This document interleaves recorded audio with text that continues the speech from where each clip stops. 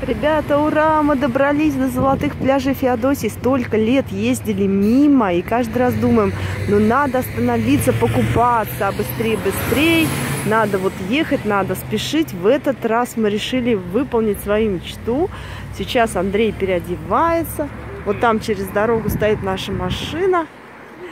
И мы купаемся на этих золотых пляжах Феодосии, до которых раньше надо было ездить на автобусе, да, но как через Керчь стали мы уже после паромов, сейчас по мосту проезжать, то получились они прям по пути. Вот, сейчас купаемся и едем на Судак. Посетим Генуэзскую крепость. Андрюшка, море! Ура!